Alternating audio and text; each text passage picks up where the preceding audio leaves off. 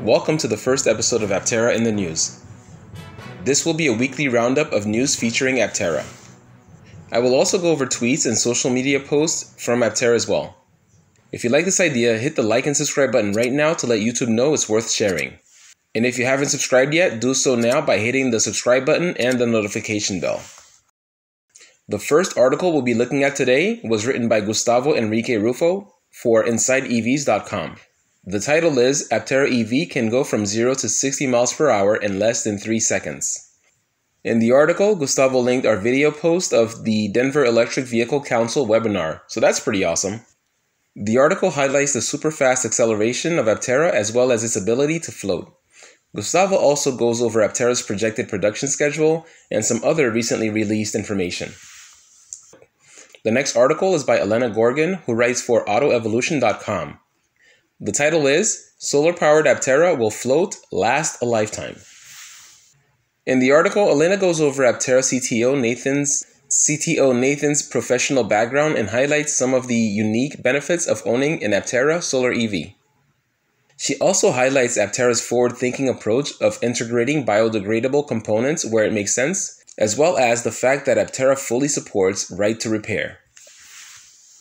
Our next story is a very interesting one coming out of MJBizDaily.com, where Kristen Nichols interviews Aptera CTO Nathan Armstrong about the use of hemp in the automotive industry. The title of that article is Canada's Role in Making Hemp Viable in Car Building. Q&A with Aptera's Nathan Armstrong.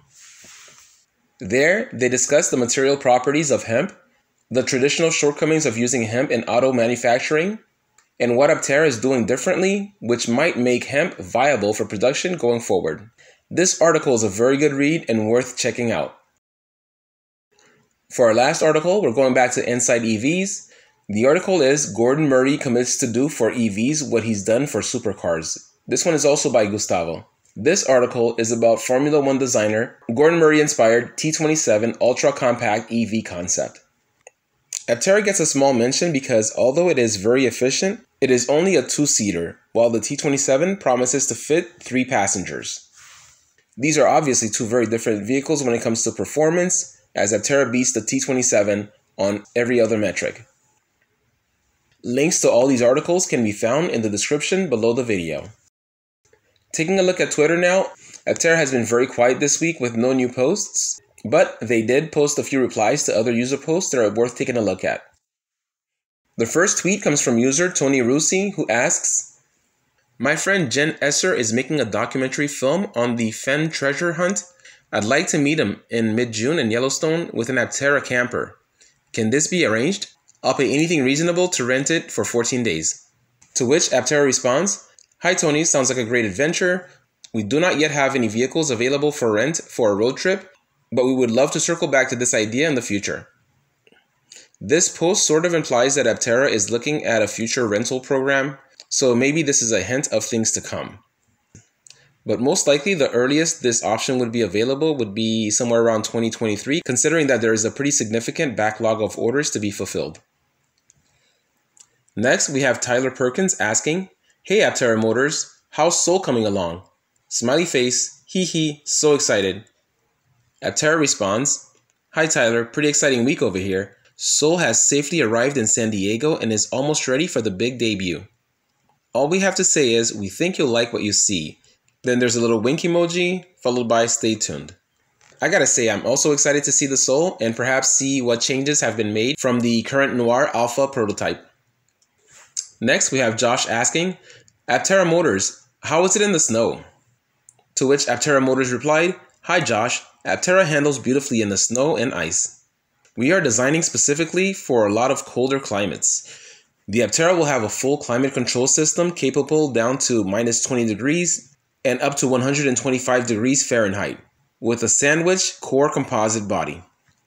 We also had Aptera sending out well wishes to Aptera Ambassador Rex after he posted an image of himself after a recent scooter accident. We wish you well too, Rex. Hope you'll be back at 100% soon. Last but not least, we have Elliot asking, At Aptera Motors, will you open another round of investing? The reply from Aptera is Hi, Elliot. Our goal is to open up another round of investment in the next few months. You can add your name to our interest list here, and we'll reach out when opportunities are available. This post has a link on it which sends you to the Aptera website. I will post the link to the investor email sign up page below in the description of this video. I can't wait to participate in the next funding round.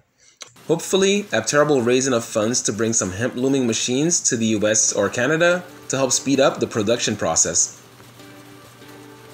That's all the updates I have for this week. Lots of great things to look forward to from Aptera very soon. If you like this new weekly news roundup, drop me a like and leave a comment letting me know what you think. Don't forget, you can also leave a voicemail at 855 4 reboot that's 855 473 2668. And don't forget, we can use your support, so visit us at patreon.com forward slash Aptera Reboot or at apterareboot.com to pick up some merch. Thanks for watching, and I'll see you next time.